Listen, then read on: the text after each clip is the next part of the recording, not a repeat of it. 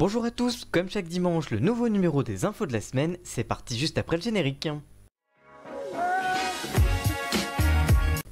Netflix part à la recherche de la prochaine star du rap français. C'est le Parisien qui révèle que Netflix France va lancer la version française de son émission Rythme plus Flow.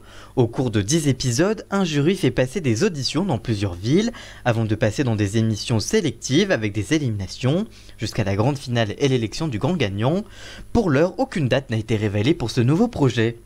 La série culte Friends est de retour avec une émission d'anecdotes. C'est le site Deadline qui révèle qu'un projet d'émission est en préparation avec les six stars du show. Pendant près d'une heure, ils se retrouveront devant les caméras pour fêter l'arrivée de la série sur HBO Max. Le journal révèle que Jennifer Aniston, Courtney Cox, Lisa Kudrow, Matthew Perry, Matt LeBlanc et euh, David euh, Schmeimer euh, devraient toucher chacun entre 3 et 4 millions d'euros pour leur participation. Les deux marques de malbouffe McDo et Ferrero s'allient en, Italie pour sortir un nouveau produit dans l'enseigne de fast-food. Ça va s'appeler le Mac Crunchy Breath, un bagel fourré au Nutella qui a déjà été commercialisé au Canada. Un produit qui coûte 1,40€.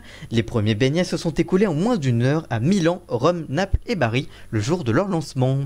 Et on fait le point sur le coronavirus après l'émission de la semaine dernière. Le virus a contaminé plus de 34 500 personnes en Chine et pour près de 722 000 morts euh, à date en tout cas.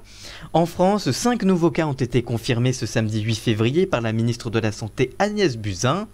Parmi eux, un enfant de 9 ans qui a fréquenté deux établissements scolaires qui ont été fermés en Auvergne-Rhône-Alpes.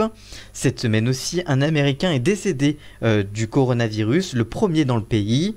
Autre information, le virus n'est finalement pas transmis par les chauves-souris car elles ne sont pas équipées des récepteurs humains, mais elles seraient plutôt dues aux pangolins qui seraient donc à l'origine de cette transmission.